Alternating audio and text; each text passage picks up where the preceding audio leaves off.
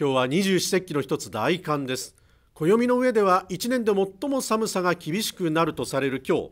浜松市では神社の神職が天竜川に入って身を清める大寒みそぎを行いました。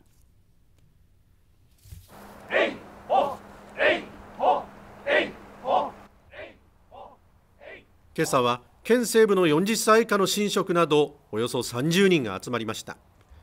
白い鉢巻きに下帯姿の神職は船を漕ぐような動作の鳥船神事で体を温め気持ちを高めると川の中に入りました。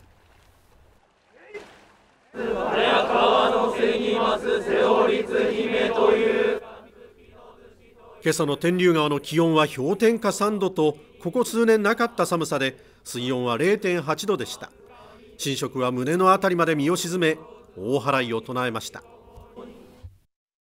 入ってるとだんだんこの辺りがあの刺すような冷たさがありました。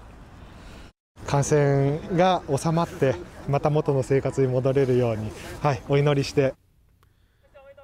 毎年恒例の行事を終え神職は今年1年への思いを新たにしていました